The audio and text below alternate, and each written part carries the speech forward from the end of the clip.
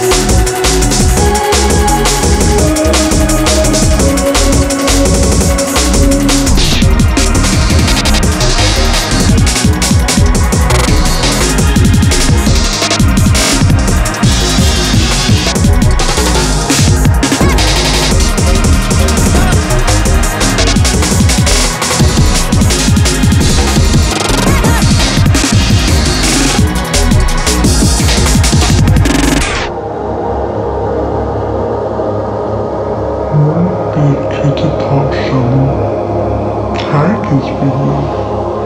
Hayalet arkadaşlarını bilesin. Kedi tavşan günler geçiyor.